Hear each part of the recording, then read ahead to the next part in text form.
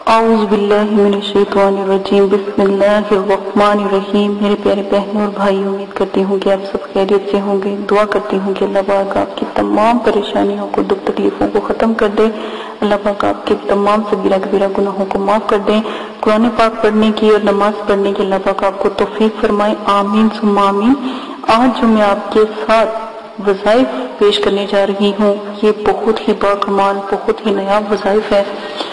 جو شخص اس وظائف کو کرے، کبھی بھی اس شخص پر فاقہ نہیں آئے گا۔ فکر و فاقے کی اس کو، جو کاوش ہے، یہ چیز ہے کہ اللہ پاک اس کو اتنا رزق عطا فرما دیں گے کہ وہ چیز ختم ہو جائے گی۔ الوہاب، سب کو عطا کرنے والا، سب کو دینے والا، سب محتاج اپنے رب کے، میں بھی محتاج اپنے رب کی۔ اللہ پاک آپ کو بھی عطا فرمائے، رزق حلال اور اللہ پاک مجھے بھی عطا فرمائے رزق حلال اللہ پاک آپ کو اتنا رزق عطا فرمائے کہ کبھی کسی کے آگے ہاتھ پھیلانے کی ضرورت نہ پیش آئے اور نہ ہی کبھی رزق کی تھوڑ ہو۔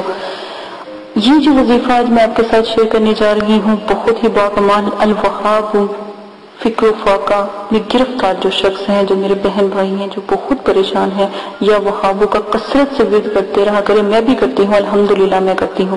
تو آپ بھی کیا کریں اور اس کا ایک اور فائدہ اگر آپ نے لینا ہے تو چاشت کی نماز کے آخری سجدے میں صرف اور صرف چالیس مرتبہ آپ پڑھیں تو جو بھی دعا آپ مانگیں گے، رزق کی اور جو ہے آپ کو اگر فاقہ کشی ہے یا رزق کی فکر ہے یا وہ چاہتے ہیں کہ رزق آپ کا بلند بالا ہو، تمام لوگ آپ کے در سے کھائیں تو آپ نے صرف اور صرف چالیس مرتبہ یہ جو ذکر ہے، الوہاب کا پڑھنا ہے، تو انشاءاللہ اللہ کے حکم سے اتنا رزق ہوگا کہ میں کہتی ہوں، وہ شخص اوروں کو اپنا رزق بانٹتا رہے گا، انشاءاللہ۔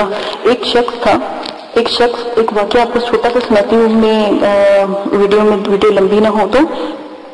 تو ایک واقعہ میں آپ کو سناتی ہوں، ایک شخص تھا، اس نے اپنے رب سے بہت بھوکا تھا، بہت فاقہ کشی کا وہ شکار تھا، ہر وقت کوئی اس کے پاس رزق نہیں تھا، نہ ہی اس کو کوئی کھانے کے لیے دیتا تھا۔ اس نے ایک دن کیا کہا کہ، اے اللہ پاک، میرے مالک، تو مجھ سے ایک دفعہ پیٹ بھر کے روٹی کھلا دے۔ مجھے جتنا میرا اپنے رزق لکھا ہے نا، مجھے ایک دن میں ادا کر دیں تو اللہ پاک نے اس کی یہ بات اتنی اللہ پاک کو پسند آئی۔ تو اللہ پاک نے نہ ایک دروازہ دروازہ کھڑکا۔ ٹھیک ہے؟ دروازہ جب اس نے کھولا تو دو شخص گندم کی بوریاں اور دو شخص نے چاولوں کی بوریاں اپنے کندھے پہ اٹھائی ہوئی۔ تو اس گھر، اس شخص کے گھر میں چھوڑ گئے۔ وہ بہت حیران ہوا کہ یہ سب کیا ہے؟ اس نے کہا، یہ تمہارے لیے ہے۔ ہمیں فلاں جگہ سے ہم آئے ہیں تو یہ تمہارے نام کا تھا، یہ تم تک پہنچ گیا۔ اس کو بہت خوشی ہوئی۔ ٹھیک ہے؟ اس نے کیا کیا؟ اس نے جتنا اس نے کھانا تھا، اس نے پیٹ بھر کے کھانا کھایا اور باقی صبح اٹھ کے تمام اپنے جو گاؤں کے لوگ تھے یا تمام اپنے جو مطلب کہ آس پاس کے لوگ سب میں تقسیم کر دیا۔ رزق کی بات آپ کو بتا رہی ہوں۔ سب میں تقسیم کر دیا۔ کیا دیکھتا ہے کہ رات کے وقت پھر وہی چار شخص، دو چاول کی، دو گندم کی بوریاں اٹھا کے اپنے سر پہ لا رہے ہیں۔ تو کہا، یہ تمہارا رزق ہے۔ ہم فلاں جگہ سے آئے یہ تمہارے نام پر۔ تو وہ چپ کر کے رزق کی جو بوریاں تھی اس کے گھر رکھ کے چلے گئے۔ وہ پھر اس نے وہی کیا۔ اس طرح کرتے کرتے کرتے کرتے ایک دن اس کو اتنی اللہ پاک نے اس کے اوپر اتنی رحمت، اتنی برکت کر دی، صرف اس وجہ سے کہ وہ خود تو پیڑ بھر کے وہ کھاتا تھا، لیکن لالچ نہیں کرتا تھا۔ صبح تمام اوروں کو مطلب کہ رزلٹ جو دیتا تھا۔ آپ اسی بات سے حساب لگا رہے اللہ پاک کی ساتھ کتنی بلند اور بالا ہے، اللہ پاک کس طرح لوگوں کو رزق دیتا ہے؟ اگر ہم کسی کو رزق عطا فرماتے ہیں، اگر ہمارے در سے کوئی کھاتا ہے، تو سوچے اللہ پاک نے اس کو ہمارے در سے وسیلہ کر دیا۔ ٹھیک ہے؟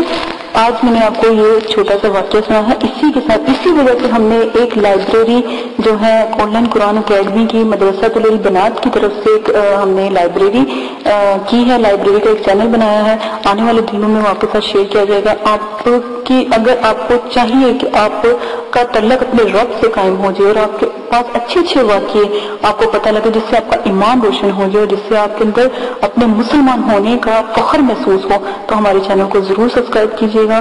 آن لائن قرآن اکیڈمی کی لائبریری بہت ہی باکمال چینل ہے۔ انشاءاللہ اللہ پاک آپ کو بھی ضرور توفیق فرمائیں گے انشاءاللہ آپ ضرور کیجیے گا۔ اور اگر کوئی شخص حاجت اگر مطلب کہ کسی شخص کو حاجت پیش آ جاتی ہے گھر یا مسجد کے سہن میں تین بار سجدہ کر کے ہاتھ اٹھا کے ایک سو ایک مرتبہ یعنی کہ ایک تصویر یہ والا اسم پڑھ لے، تو انشاءاللہ اللہ تعالیٰ اس کی ہر حاجت پوری کر دیں گے، یا وہاب یا وہاب یا وہاب آپ یہ پڑھ کے دیکھیں میں کہتی ہوں، الحمدللہ، میں پڑھتی ہوں۔ مجھے اپنے، میرے رب نے مجھے اتنا عطا کیا، اتنا عطا کیا کہ میں اس ایک رتی کا، ایک دانے کی رتی کا بھی دین نہیں دے سکتی اپنے رب کا۔ الحمدللہ، اسی کے ساتھ آج میں آپ کو اپنی کا عمل بتاتی جاتی ہوں۔ اس سے جو ہے تسبیح کرنے والی، اس عمل کی، اس لفظ کی، الوہاب سب کو عطا کرنے والے کی تسبیح کرنے والی ایک پری اللہ پاک نے اس نام کے ساتھ اس پری کا طلب جڑا ہے۔ بہت ہی نایاب، بہت ہی باکمال پری ہے اور بہت ہی پیاری پری ہے آپ نے ایک بات ہمیشہ یاد رکھنا، پری کی دیکھیں، جب بھی پری حاضر ہوگی، آپ کو ایک چھوٹا سا موتی دے گی۔ موتی کا دانا دے گی۔ ٹھیک ہے؟ وہ دانا بس آپ نے اس کو اپنے آٹے کے اندر رکھنا ہے۔ گھر کے جو آپ آٹا لیتے ہیں، گندم پسواتے ہیں یا گندم لاتے ہیں، اس کے اندر، یہ چاول کے اندر وہ موتی رکھ دیجیے گا۔ آپ دیکھیے گا ہر روز، آپ کو ہر روز دیکھیں گے اس کے اندر آٹا۔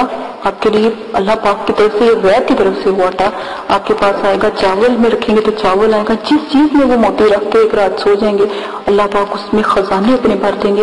عمل کا طریقہ آپ کو بتا چاہتی ہوں نو جلدی جمعرات کو اپنے عمل حصار کے ساتھ قائم کرنا ہے۔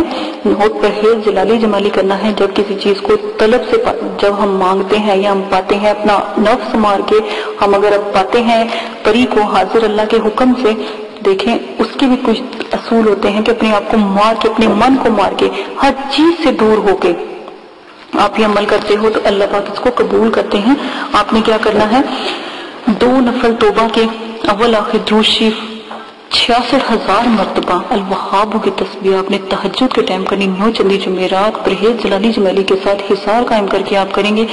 تو اور دو نفر شکرانے کے بعد میں پری کے لیے پڑھیں گے کہ اللہ پاک اس کو حاضر کر دیں اور انشاءاللہ اللہ کے حکم سے اکیس دن کا عمل ہے، اکیس دن تک آپ انشاءاللہ کامیاب ہو جائیں گے۔ اگر آپ اس عمل کی سکیرہ کے بعد اگر کبیرہ بھی آپ زکات ادا کرتے ہیں تو کیا ہی بات ہے، کیا ہی اولا ہے۔ اور پری کو آنے کا طریقہ پوچھ لیجیے گا، پری آپ کو آنے کا طریقہ بتا دے گی۔ اور ویسے بھی آپ چھیاسٹھ مرتبہ لوہاب ہو کسی تنہائی والی جگہ پہ کہیں کریں گے تو انشاءاللہ پری حاضر ہو جائے گی۔ آپ اسی کے ساتھ اجازت چاہتی ہوں اپنا بہت زیادہ خیال رکھیے گا، دعاؤں میں یاد رکھیے گا۔ اللہ پاک کے ناموں کے ساتھ جو بلندی ہیں، میں نے آپ تک پہنچائی، آپ آگے تک پہنچائیں گے۔ اپنا وعدہ یاد رکھیے گا اور میرے چینل کو سبسکرائب کرنا نہ بھولیے گا۔ میرے چینل کو لوگوں میں شیئر کریں تاکہ لوگوں کو پتہ لگے کہ ہمارے رب کی ذات کے ساتھ کون کون سا نام، کون کون سا علم اور مبارک اللہ پاک کا کرام اللہ پاک کی عزت اور رتبہ ہمارے دلوں میں اللہ تعالیٰ کا یہ پیغام ہم لوگوں تک پہنچائیں اللہ پاک ہماری خواہشوں کو قبول و منظور عطا فرمائے اجازت دے اپنا خیال رکھے گا اللہ حافظ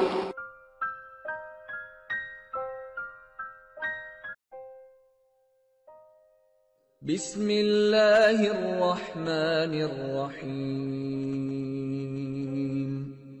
قل هو الله احد الله الصمد لم يلد ولم يولد وَلَمْ يَكُنْ لَهُ كُفُوًا أَحَدٍ۔ آپ نے ابھی تک ہمارا چینل سبسکرائب نہیں کیا تو اسے سبسکرائب کر لیجیے اور بیل کے آئیکن کو پریس کیجیے تاکہ ہر آنے والی نئی ویڈیو کا نوٹیفیکیشن آپ کو مل سکے۔ دعا کرتی ہوں کہ اللہ پاک آپ کو اس عمل میں کامیابی عطا فرمائے۔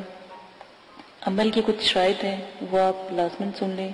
عمل کی اجازت والی ویڈیو پیش کر دی گئی ہے، پوسٹ کر دی گئی ہے، وہ لازمن آپ دیکھ لیجیے گا۔ عمل نو چندی جمعرات کو آپ شروع کریں گے اور جب بھی آپ عمل شروع کریں گے، اس سے پہلے دو توبہ کے نفل پڑیں گے۔ تاکہ آپ اللہ پاک سے اپنی گناہوں کی معافی مانگیں، تاکہ آپ عمل میں کامیابی اختیار کریں۔ ٹھیک ہے؟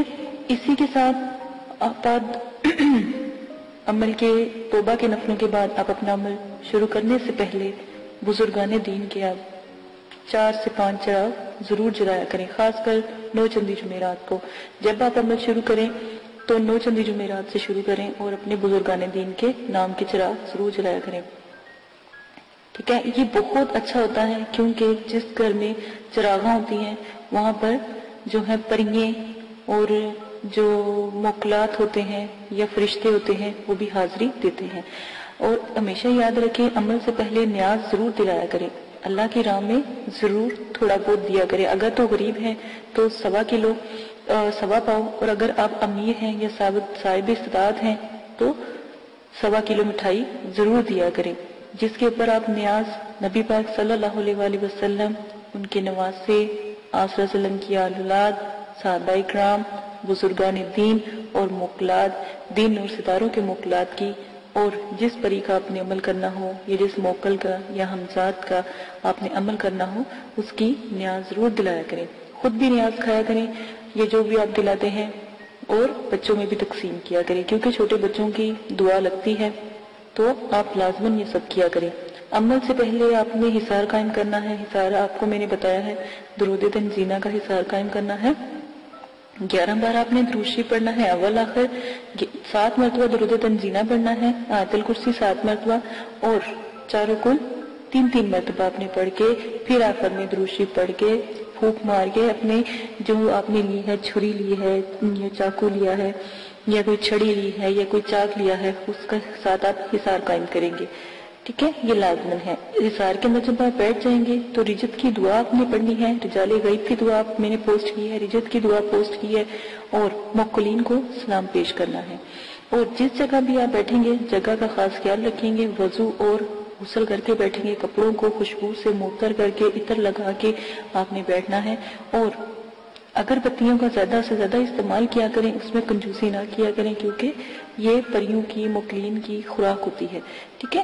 تو یہ لازمن آپ کیا کریں۔ تنہائی اور یکسوئی ہونا بہت لازمی ہے۔ کہیں کسی قسم کا شور و گل نہ ہو، اس لیے آپ کو عشاء کے وقت کے عمل بتائے جاتے ہیں تاکہ مکمل خاموشی ہو۔ عمل کے دوران آپ نے جلالی جمالی پرہیز کرنا ہے، ترک حیوانات کرنا ہے، کسی بھی قسم کا جو ہے، آپ نے گوشت، انڈا، مچھلی وغیرہ اس طرح کی چیزیں نہیں کھانی۔ اور جمالی جلالی پرہیز کے لیے آپ میری ویڈیو ضرور دیکھ سکتے ہیں۔ اور ویڈیو کو میں نے جو بھی ہے پوسٹ کی ہے نو چندی جمعرات کی ویڈیو بھی پوسٹ کی ہے، وہ بھی دیکھ سکتے ہیں۔ اجازت کی ویڈیو پوسٹ کی ہے، وہ بھی لاسٹ میں دیکھ لیجیے گا۔ اور آپ لوگوں کو اگر کوئی مسئلہ پیش آتا ہے یا کوئی پریشانی ہے، تو ڈسکرپشن میں میں نے اپنا جی میل آپ کو دے دیا ہے۔ آپ وہاں پر جا کے جی میل سے مجھے میسج کر سکتے ہیں تاکہ آپ کی بات سنی جائے۔ لائیو اگر کوئی بات نہیں کرنے والی ہوتی تو اگر کمنٹس باکس میں نہیں کر سکتے تو وہاں پر جا کے آپ کر سکتے ہیں۔ یہ سہولت آپ کو دے دی گئی ہے۔ اگر آپ لائیو کریں گے تو کمنٹس میں وہی بات کریں جو آپ کو مناسب لگے۔ ٹھیک ہے؟ اس چیز کا آپ بہت زیادہ خیال رکھیے گا۔ عمل سے پہلے یا عمل کے بعد جب آپ ایک دفعہ حسار کے اندر بیٹھ جاتے ہیں تو کسی بھی بلا ضرورت آپ نے حسار سے باہر نہیں نکلنا۔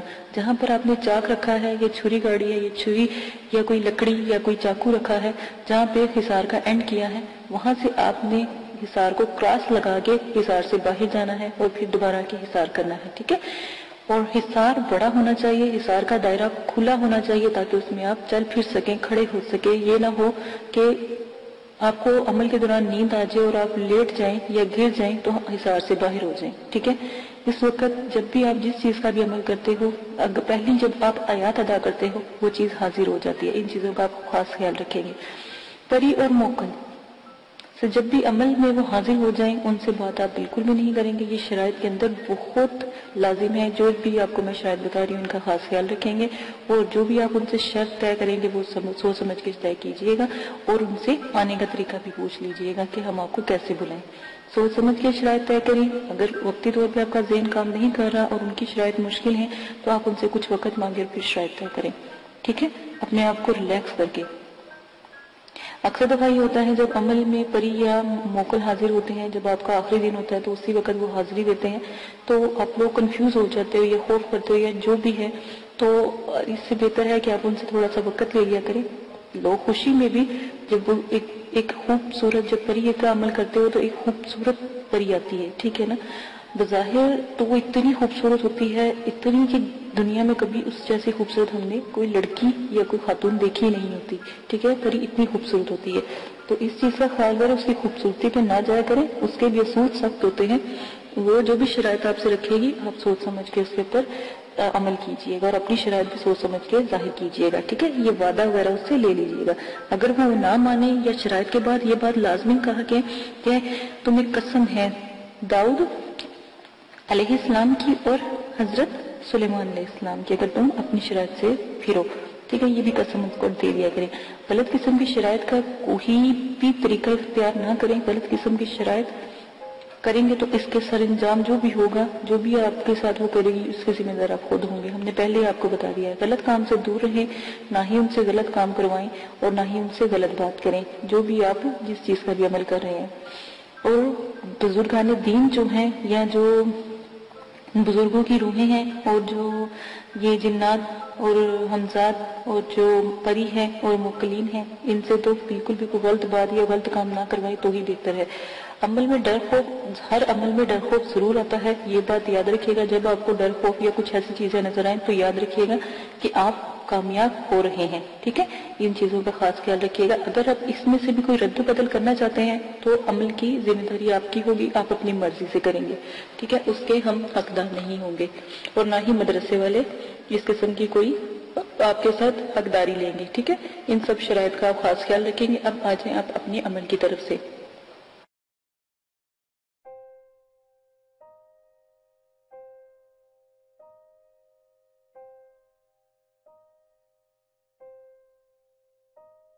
آپ یہ ویڈیو یوٹیوب پر دیکھ رہے ہیں تو ہمارا چینل سبسکرائب کریں تاکہ ہماری تمام نئی آنے والی ویڈیوز آپ بآسانی دیکھ سکیں۔ شکریہ۔